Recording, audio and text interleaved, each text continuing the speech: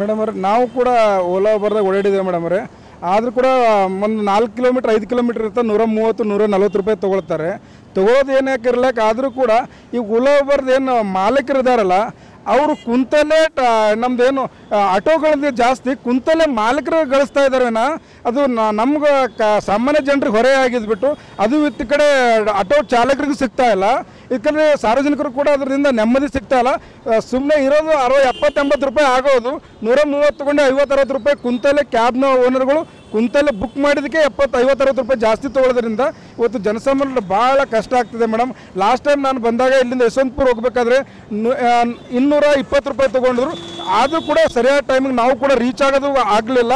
ಅಂಥ ಪರಿಸ್ಥಿತಿಯಲ್ಲಿ ಇವತ್ತು ನಾವೇನು ಹೇಳ್ತೇವೆ ಕ್ಯಾಬ್ಗಳು ಒಂದು ವೇಳೆ ಆಟೋದವ್ರಿಗೆ ಒಂದು ದುಡ್ಡು ತೊಗೊಳ್ಳೋದೇ ಆದರೆ ಅಟ್ಲೀಸ್ಟ್ ಒಂದು ಮಾನವೀಯ ದೃಷ್ಟಿಯಿಂದ ಯಾರು ಪರವಾಗಿ ದುಡಿತಾ ಇದ್ದಾರೋ, ಇವತ್ತು ನಾವು ಏನು ಸಾರಥಿ ಅಂತ ಕರಿತೀವಿ ಆಟೋ ಚಾಲಕರಿಗೆ ಆಟೋ ಚಾಲಕರಿಗೆ ಅವರಿಗೆ ಒಂದು ಇಪ್ಪತ್ತು ರೂಪಾಯಿ, ಹೆಚ್ಚು ಬಂದರೆ ಪರವಾಗಿಲ್ಲ. ನಮ್ಗೆ ಒಂದು ಇಪ್ಪತ್ತು ರೂಪಾಯಿ ಕಡಿಮೆ ಆದರೂ ಪರವಾಗಿಲ್ಲ. ಅದನ್ನು ಬಿಟ್ಟು ಬೇಕಾಗಿಬಿಟ್ಟು ಸುಮ್ಮನೆ ಒಂದು ಆ್ಯಪ್ ತೊಗೊಂಡ್ಬಿಟ್ಟು ಆ್ಯಪಲ್ಲಿ ಕುಂತ್ಬಿಟ್ಟು ಮಾಲೀಕರು ಇವತ್ತು ಕುಂತಲ್ಲೇ ರೀಚ್ ಮಾಡೋ ಸಂಸ್ಕೃತಿ ಆಗ್ತದೆ. ದಯಮಾಡಿ ಇದನ್ನು ಸರ್ಕಾರ ಮತ್ತು ಸಾರಿಗೆ ಸಚಿವರಿಗೆ ನಾನು ಇದು ಮಾಡ್ತಾ ಇದ್ದೀನಿ. ಇವತ್ತಿನ ದಿವಸ ಎಲ್ಲ ಬೆಲೆ ಏರಿಕೆ ಹೆಚ್ಚಾಗೋದು ಜನರು ಓಡಾಡೋದೇ ಕಷ್ಟ ಆಗಿದೆ. ಅಂಥ ದಿನಗಳಲ್ಲಿ ಮತ್ತೆ ನಾವು ಮತ್ತೆ ಕಾಲ್ನಡಿಗೆಯಲ್ಲಿ ಸುತ್ತಾಡುವ ಪರಿಸ್ಥಿತಿ ಇವತ್ತು ಬಿ ಜೆ ಪಿ ಸರ್ಕಾರ ತರ್ತಾ ಇದೆ. ನಾನು ರಾಮುಲು ಅವರಿಗೆ ಕೈ ಮುಗಿದು ಕೇಳ್ಕೊಳ್ತಾ ಇದ್ದೀನಿ.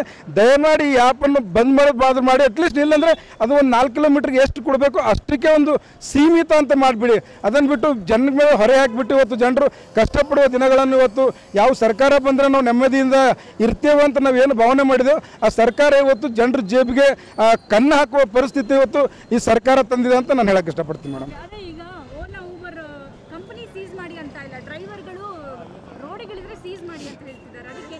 ಪಿ ಸರ್ಕಾರ ಮೇನ್ ಆಗಿ ಇವತ್ತು ಆಟೋ ಚಾಲಕರಿಗೆ ರಸ್ತೆಗೆ ತರಬೇಕಂತ ಅವ್ರು ಪ್ಲ್ಯಾನ್ ಮಾಡ್ಕೊಂಡೇ ಕುಳಿತಿದ್ದಾರೆ ಮೇಡಮ್ ಇವತ್ತು ಯಾವ ಕಂಪ್ನಿಗಳನ್ನು ಬಂದ್ ಮಾಡಬೇಕು ಕಂಪ್ನಿಗಳು ಬೀಳಿದ ಮೇಲೆ ಯಥಾಸ್ಥಿತಿ ಹಿಂದ್ಗಡೆ ಒಂದು ಹತ್ತು ವರ್ಷದ ಹಿಂದ್ಗಡೆ ಯಥಾಸ್ಥಿತಿ ಇತ್ತಲ್ಲ ಮೇಡಮ್ ಅವಾಗ ಕೂಡ ಆಟೋಗಳು ನಡೀತಾವ ಕ್ಯಾಬ್ ಇದ್ದವ ಓಲಾ ಇದ್ದವು ಏನೂ ಇರಲಿಲ್ಲ ಅದೇ ಪರಿಸ್ಥಿತಿ ಮಾಡಿಬಿಡಿ. ನೀವ್ಯಾಕಷ್ಟು ರಿಸ್ಕ್ ತಗೊಂಡು ಆಟೋ ಬಂದ್ ಮಾಡಿಬಿಟ್ಟು ನೀವು ಕ್ಯಾಬ್ ಯುವಕರಿಗೆ ನೀವು ಆ ಕಂಪ್ನಿ ಮಾಲೀಕರಿಗೆ ಯಾಕೆ ಸೌಲಭ್ಯ ಮಾಡಿಕೊಡ್ತಾ ಇದ್ದೀರಿ ಎಂತೆಂಥ ದೊಡ್ಡ ದೊಡ್ಡ ಕಳ್ಳರನ್ನ ಬಿಟ್ಟಿದ್ದಾರೆ ಈ ಅಮಾಯಕರನ್ನ ಅದಕ್ಕೆ ಮೇಡಮ್ ಸರ್ಕಾರ, ಫಾರ್ಟಿ ಪರ್ಸೆಂಟ್ ಸರ್ಕಾರ, ಇದರಲ್ಲಿ ಕೂಡ ಆಟೋ ಚಾಲಕರಲ್ಲಿ ಕೂಡ ಫಾರ್ಟಿ ಪರ್ಸೆಂಟ್ ವಸೂಲಿ ಮಾಡೋಕ್ಕೆ ಈ ಸರ್ಕಾರ ನಿಂತಿದೆ.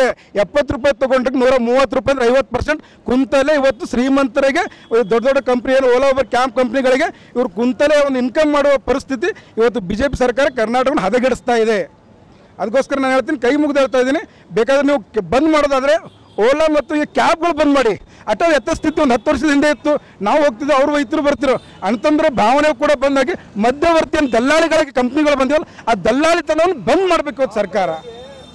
ಯಾಕಂದ್ರೆ ದಲ್ಲಾಳಿಗಳ ಹಾವಳಿಯಿಂದ ಇವತ್ತು ಇದು ಹೆಂಗಾಗ್ತದೆ ಮೇಡಮ್, ರೈತರು ಕೂಡ ಇಲ್ಲಿ ಬೆಳೀತಾರೆ, ಅಲ್ಲಿ ಕೊಡ್ತಾರೆ, ಮಧ್ಯವರ್ತಿ ಕುಂತಲೇ ಇನ್ಕಮ್ ತಗೊಂಡ್ಬಿಟ್ಟು ರೀಚ್ ಆಗ್ತಾ ಇದ್ದಾನೆ. ಇವತ್ತು ಆಟೋದು ರೀಚ್ ಆಗ್ತಾ ಇಲ್ಲ ಜನಸಾಮಾನ್ಯ ರೀಚ್ ಆಗ್ತಾ ಇಲ್ಲ, ಇವತ್ತು ಓಲಾ ಮತ್ತು ಕ್ಯಾಬ್ನ ಓನರ್ಗಳು ಕುಂತಲೇ ರೀಚ್ ಆಗ್ತದೆ ಆ ಸಂಸ್ಕೃತಿಯನ್ನು ಈ ಸರ್ಕಾರ ಜನಸಾಮಾನ್ಯರ ಪರವಾಗಿ ಏನಾದರೂ ಕಿಂಚಿತ್ತು ಕಾಳಜಿ, ಗೌರವ ಈ ಸರ್ಕಾರಕ್ಕಿದ್ರೆ ಇವತ್ತು ಕ್ಯಾಬ್ ಮತ್ತು ಓಲಾ ಕ್ಯಾಬ್ ಇವು ಮೊದಲು ಬಂದ್ ಮಾಡಿ ಅಂತ ನಾನು ಸರ್ಕಾರಕ್ಕೆ ಮನವಿ ಮಾಡ್ಕೊಳ್ತೇನೆ madam. It's design from what you see do it walk, talk, knock, rock, and wear.